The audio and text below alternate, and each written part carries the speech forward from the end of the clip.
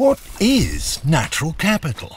We're hearing about it more and more. It's complex. It's confusing. And although most of us want to educate ourselves, we're all drowning in jargon. So let's break it down. There are three types of capital. Produced capital, machinery, vehicles, buildings, the stuff humans create when we turn things like oil and gas into everyday products like petrol and plastic.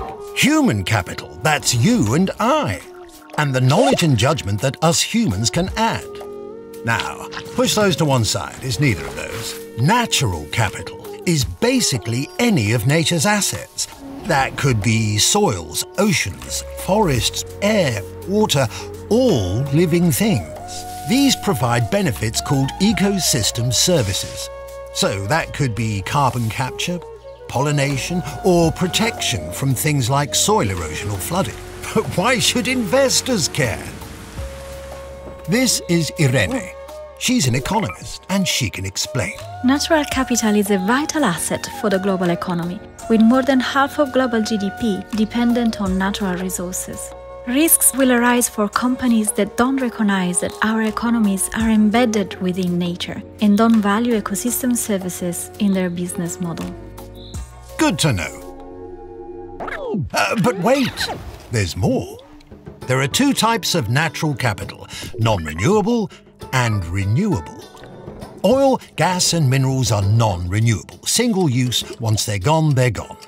Then, renewable natural capital, things like the ozone layer, forests, and fish stocks. When used in moderation, renewable natural capital can benefit future generations for hundreds of years. But if you deplete the stock, let's just say your great great grandkids won't be having fresh fish for dinner. So if it's that important, then why have we humans changed almost three quarters of the Earth's surface and two thirds of the ocean? Destroyed half of the world's coral reefs and put one million animal and plant species under threat of extinction? Good question. And we have some good news. Attitudes are changing and momentum is building.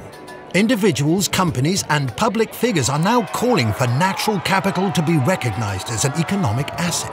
And soon, firms could be asked to disclose their exposure to nature related risks. So, as with climate change, if nothing is done, the costs will be high.